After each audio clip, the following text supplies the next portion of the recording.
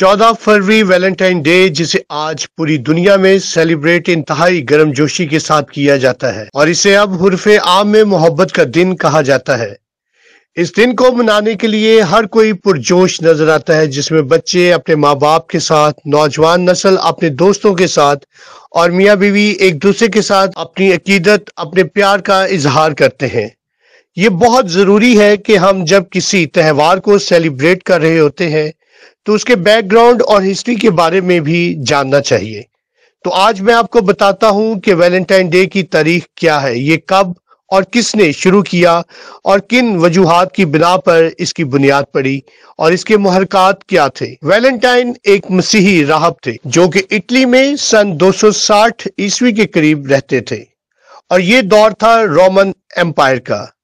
Roman empire उस वक्त बहुत से अपने देवी देवताओं को पूछते थे और मसीही लोगों से और उनके मज़हब से नफरत करते थे। उन्होंने पादी वैलेंटाइन को गिरफ़्तार किया और अदालत के हवाले कर दिया और उस पर यह इल्ज़ाम लगाया कि ये हमारे देवी देवताओं को महज बुद्ध कहता है और किसी दूसरे मज़हब का प्रचार करता है। इस पर उस वक्त के जज एस्ट्रीरियस ने उसे कैद में डाल दिया। कैद के दौरान जब उसकी एक दिन जज एस्ट्रीरियस से मुलाकात हुई तो उसने वैलेंटाइन से पूछा कि तुम किसकी इबादत करते हो? तो उसने यसु मसीह के बारे में उसे बताया। जब उसने सेंट वैलेंटाइन से उन सब बातों को सुना तो उसने वैलेंटाइन को ये चैलेंज दिया कि अगर यसु मसीह मेरी बेटी जो अंधी है, उसकी बिनाई लुटा दे तो मैं उस पर ईमान ले आऊँगा। वैलेंटाइन ने उसकी बेटी के लिए दुआ की और वह शिफा याब हो गई। जब स्टीरियस ने यह मुआवजा देखा तो उसने अपने घराने समेत बपतिस्मा लिया और यीशु मसीह को अपना निजात दहिंदा कबूल किया और उसने वैलेंटाइन को रिहा कर दिया। और उसके अलावा जितने भी और मसीही कैद में थे,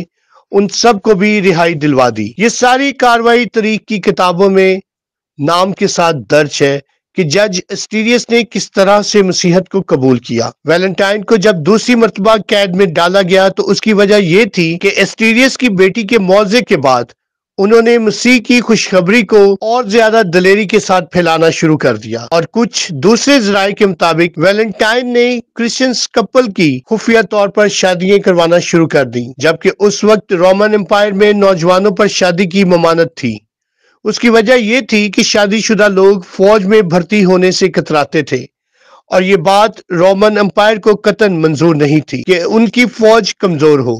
लिहाजा उस वक्त शादी करवाना कानूनी जुर्म था, लेकिन वैलेंटाइन ने यह सिलसिला जारी रखा, जिसकी पादाश में उसे दोबारा गिरफ़्तार क्लोडियस डोम के कहने पर किया गया और उसे फिर से कैद में डाल दिया गया। क्लोडियस डोम ने 14 फरवरी दो ईस्वी को वैलेंटाइन को शहर के दरवाजे के सामने ले जाकर उसका सर तन से जुदा करके उन्हें शहीद कर दिया। रोमन एम्पायर ने जब मसीहत को सरकारी मज़हब के तौर पर ऐलान कर दिया तो चर्च ने 14 फरवरी को एक यादगार दिन करार दिया। उन्नीस सौ उनहत्तर ईस्वी में चर्च ने इस दिन को सेंट वैलेंटाइन डे के नाम से मंसूब कर दिया। इस दिन को सेंट वैलेंटाइन करार देने की वजह वो खत था, जो उन्होंने अपने मरने से एक दिन पहले जज एस्टीरियस की बेटी को लिखा, जिसके आखिर में उन्होंने लिखा, योर्स वैलेंटाइन। आज के दिन भी जब मोहब्बत करने वाले एक दूसरे के साथ अपनी अकीदत का इजहार, फूल चॉकलेट और कार्ड्स के ज़रिए करते हैं तो वो यही लिखते हैं योर्स वैलेंटाइन